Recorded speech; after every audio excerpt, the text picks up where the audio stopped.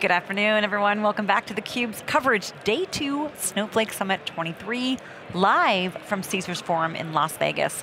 Lisa Martin with Dave Vellante. Dave, yesterday there was a, I, I like to uh, uh liken it to the those t-shirt guns at an NBA game, t-shirt gun cannon of content, of launches that actually came out yesterday. Snowpark Container Services that was, was the big one of them. right? Yes. I mean, that, was, that was the star, and um, yeah, and the star is here on theCUBE. We're going to be digging into that next. We've got two guests with us. Caitlin Colgrove joins us, the co-founder and CTO of Hex Technologies.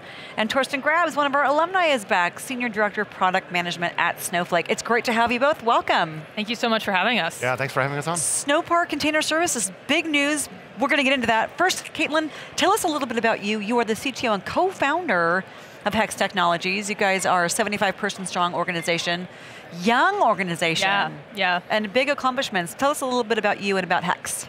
Yeah, I mean, my background is in software engineering, but I always skewed towards user experience and, and product. And over, you know, over my career, I've built dozens maybe of different data and data analytics experiences, both as a software engineer at Palantir for many years, and then eventually leading teams building, building those products. And I think that really is the origin story of Hex. Barry and I and our third co-founder, Glenn, all worked together on some of these things. And both as, as builders, but also as users, we experienced the deep pain of data science workflows, especially back four or five years ago.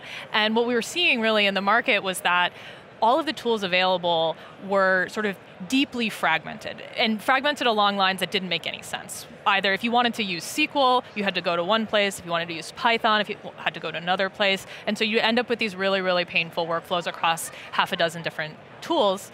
Um, and these tools were also fundamentally not collaborative in the way that modern data teams work. You were working in a silo on a local notebook. I know we made a big deal about silos earlier um, in the conference, and it was really not, you were not able to share that work or make it useful to the rest of the organization. So these are really some of the problems that we were trying to tackle when we set out uh, as co-founders. Um, and it's actually been, it's been so exciting to see all the excitement at the conference about Hex, to really see how we've been able to kind of deliver on a lot of those original goals that we had when we set out.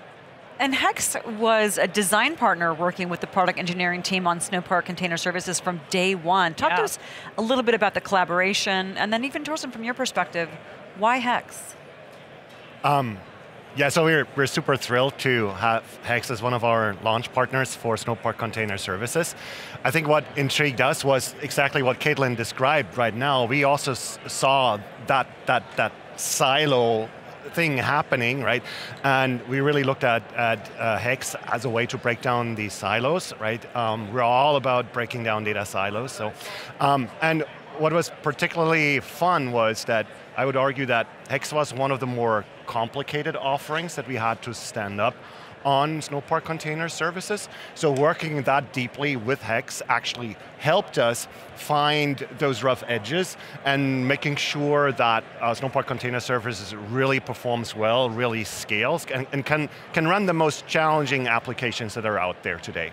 Yeah. So what you guys announced, uh, if I understand it correctly, dramatically simplifies the way in which I can do things inside a Snowflake. I think you're even containerizing uh, Jensen's GPUs, right? Yeah. Making that consumption easier. Where are you today and how far can you take this? In other words, I'm trying to get an understanding of where do I want to do, I, I presume you want your customers to do the data engineering and the data pipeline work inside of Snowflake. And you want to make that as efficient and cost effective as possible. Um, I presume that that's been your experience at, at Hex, Yeah, absolutely. Right? With all the partners, so over half of our customers use Snowflake as their preferred data warehouse, and I think, honestly, that's just a testament to the power and the flexibility of the product that, that Snowflake provides. And really what we're seeing is more and more that people are using Hex as the developer experience, like the interface on top of a lot of the infrastructure that Snowflake has, has built. And what I think Snowpark Container Services really does is it makes that completely seamless and transparent. We're all running in the same environment. Um, and so there's really almost no distinction in terms of like, oh, Hex is running over here and Snowflake's running over here and how do they talk to each other? It's all just one amazing data science experience running on Snowflake. So that's the value, but I'm help me understand this because some customers have said, well, I don't want to do all that data pipelining inside of Snowflake, it's too expensive, I got to pay the Amazon markup that Snowflake's charging, I pay Snowflake. But I'm hearing from you that it, the experience is so much better, it, it, it, it makes it up in business value in other ways. And I'm trying to square that circle. Can you help me do that? Well, I can let Torsten speak to the sort of data pipelining side on Snowflake. With Hex, it's actually really beneficial for Hex customers to be running inside Snowflake because originally you'd be paying for Snowflake, you'd be paying for Hex, you'd have a couple separate licenses, you have to go through procurement twice. Um, but now, actually, with Hex running inside Snowpark, you can actually use Snowflake credits um, and you can actually start to draw down that and have one Which, single yeah. budget for all of your data science and data engineering needs. So from our perspective, that's a huge win for the customer. Um, but I don't know if you can speak to the data engineering workflows. So that's a super super convenient. That's a convenience factor yeah. and makes you, make, allows you to move faster. But yeah, can you? And there's, there's time to market considerations that just follow straight from what Caitlin just mentioned, right?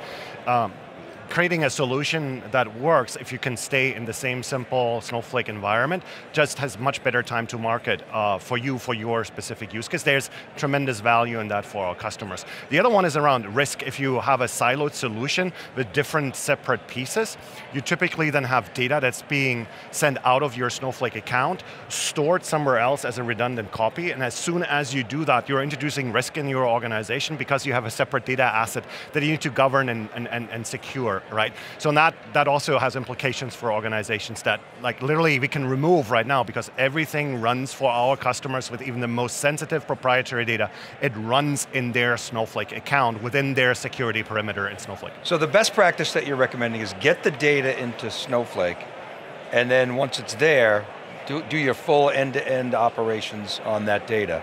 Yeah, move your work to where you manage and store your data, which is Snowflake. Pretty simple.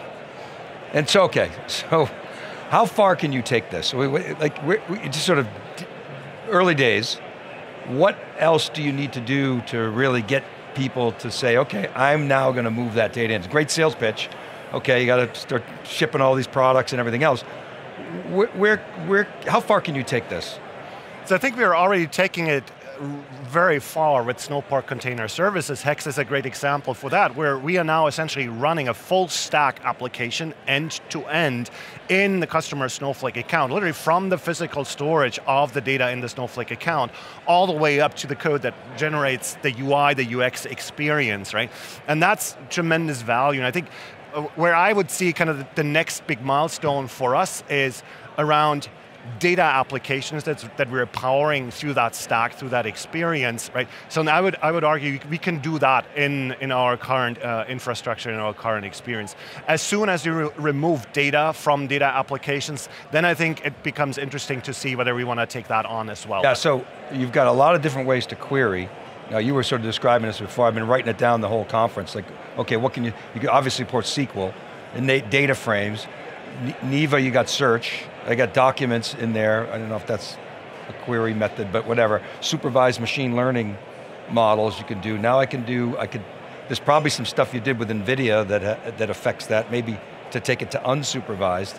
And I have a lot of different data types. I got, I got analytic, OLAP, I got, I got transactional data. You know, once you ship Unistore, I know a lot of people are excited to get that. You got streaming, all in one place right? What does that mean to a developer like you? Honestly, really what it does is it empowers and makes the experiences that we can build on top of that so much richer. So I think one really great example and another partnership that we've been investing a lot in over the last year is the Snowpark team or the Snowpark, the Snowpark library side, the Snowpark ML, things like that, um, in addition to the container services. And this is a technology that you know really wasn't possible not that long ago. Um, this sort of this ability to run Python at your cloud data warehouse scale. And then on top of that, what we've been able to do with Hex, which is actually one of my favorite things that we've done because it it seems so simple, but the technology is actually quite tricky. Um, and so it's fairly unique in terms of how we've built it is this ability to move seamlessly back and forth between different types of querying. So some tasks are much easier to do in a language like SQL, and some, like model training or regressions or, or things like that, are much easier to do in Python. And so most, at the end of the day, most analytics and data science workflows use a combination of both. Um, and before Snowpark, really you kind of had to make some hard choices. Either I'm going to use SQL and run it at scale, or I'm going to maybe use Python, but I'm not going to have the same compute power available to me. And Snowpark takes all of that away. And this is what we've been really excited to ship and launch um, with the Snowpark team, is being able to treat Snowpark data frames as a native first-class object in Hex that you can not only write direct Snowpark code and take advantage of all the compute power that Snowflake has, but you can query those with SQL, you can build visualizations on top of those, and really all of the new capabilities that Snowflake is bringing out, whether it's you know different types of models or all of those things, those are things that we're really excited to bring to the users um, in the Hex interface and really take advantage of those going forward. So that's the magic, right? You can do all that, you can join all those different data types and re in return a coherent set of data irrespective of the data types, the storage type, the database you're using, or the data format that you're using. That's right? That's, that's I mean, what that, I want to enable. Like literally yeah. a term that I like to use is polyglot snowflake, right? So different different audiences, different personas have different preferences around their programming languages, for, for example, right? So you have the data scientist, the ML practitioner that's operating in Python, but that persona needs to collaborate with other parts of the business, like for instance an analyst that is much more comfortable operating in a SQL-based environment, right? How do you actually orchestrate a workflow that creates a machine learning model in Python in the data science team, which is then being handed over to the analysts that are running this, this, this machine learning model in production in a SQL-based environment, or that runs as part of a data pipeline, again, where a data engineer may build that data pipeline in SQL, and that's what we're enabling through that polyglot Snowflake experience is that virtuous cycle between different teams to collaborate in their programming languages of choice. That collaboration is critical, especially when we talk about you know, lines of business with data science, data engineers. What are some of the outcomes? You talked about what's in it for the data scientists, the developers, the engineers. What are some of the business outcomes? Like, eh, you know, any projections maybe by industry based on all the industry clouds, that data clouds that Snowflake has, that you're expecting organizations to be able to achieve with this technology? Um, I'll maybe use an overused term here again. There's this democratizing ML aspect that everybody's obsessing about. I think we're making a big step forward with enabling that collaboration that I was just hinting at, because there's so many data science projects that fail after a powerful model has been created, but it never gets productionized into the mission critical environments of the data stack. And we're simplifying the heck out of, out of this. You stay within your Snowpark environment, be it Snowpark on the virtual warehouse or Snowpark container services, it makes it seem seamless, it's the same environment in which you create these artifacts, we're using and running them in, in production.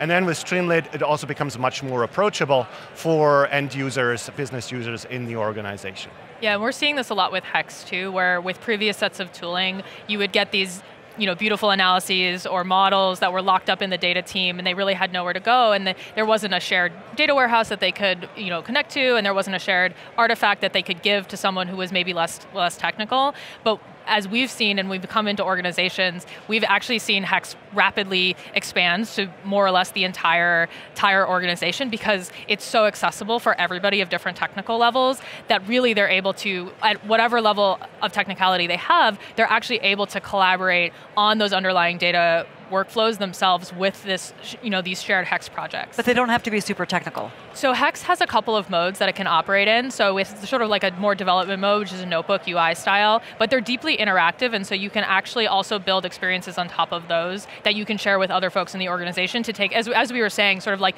building that connection between um, you know, the more technical data scientists, maybe they're writing, maybe the analysts are writing in SQL. Hex also has some more granular sharing capabilities where you can share pieces of logic with each other, um, and then all the way down to the non-technical users where you have sort of interactive um, applications that you can build using, using the Hex product. So, so you started the company to attack this data workflow hell. No. Okay, and, and so I'm envisioning, and I know organizations that have, I don't know, 30 hyper-specialized, you know, they got, they got data engineers, they got quality engineers, they got data scientists, they got analysts, and they spend their entire day trying to come up with dashboards that are consistent. And it's really painful. One person makes a change, everything stops and they're waiting for one person and they're, they're on these stovepipes. And, and I've seen industries, companies get started to try to compress that by 20% because it's so painful. it seems to me like you're blowing that away, like completely. So what happens to those hyper-specialized roles? Do they blend together? Uh, do they get simplified? Do they just get more productive and they can do more work? How do you see that playing out? Um, I would say a lot of the work, a lot of time is being spent on just managing infrastructure problems. And I think we're now creating an opportunity for those teams to let go of these infrastructure problems and have us solve them for them. And these teams can now much more focus on the business question that they need to answer. And I think that will create tremendous value for those organizations. What's an example of that? You're not talking about like spinning up a an EC2 instance, yeah. right? Oh, we are actually. Yeah, okay. Um, a lot of the time, in order to enable some of the some of the workflows that you were talking about, in terms of like collaborating between different teams and having things that people needed, different people in the organization needed to access. Sometimes it was as hard as spinning up your own EC2 instance to host. You know, in the case of something like uh, the open source notebook product Jupyter, in order to host Jupyter internally, like we were seeing data teams fighting with that level of infrastructure, and you know these people are really smart and talented, and that is something that they can do. But at, this, at the end of the day, what they're trying to do is they're trying to answer questions to drive the business forward. And spending so much time managing infrastructure, managing you know all of the sort of like data cleanliness and all of those things, um, takes away from their ability to answer the really interesting, creative questions in the business. And that's what they want to be doing. Yeah, it's exactly what they want to be doing. That's what they want to be doing. Guys, great stuff. Hex and Snowpark Container Services, secure analytics, and machine learning for the enterprise. When can folks get their hands on this? Now. Now. Yeah, come talk to us. Yeah. All right. We're and, ready. And what's in the name Hex? I, I forgot to ask you. What's in the name? Uh, yes. Um, it actually just comes very simply from the hexagon originally because we thought that that was a really you know, creative item for you know building logos and designs and things like that. But then actually, as we've uh, sort of developed our brand, we've moved more into hex as magic um, because that's really the aesthetic that we want to go for with our product. It should feel like magic. Awesome website. Expelliarmus. Yeah, dot exactly. tech. Yeah, hex.tech. Thank you so much for joining us, guys. Congratulations. Go have that well-deserved cheers with the Snowpark team. Will do. Thank you. Appreciate your insights and your time. For our guests and for Dave Vellante, I'm Lisa Martin. You're watching theCUBE. Up next, we're going to be talking about the Telecom Data Cloud. You can find all of our content on thecube.net, all of our analysis and editorial content on siliconangle.com. You're watching theCUBE, the leader in live tech coverage.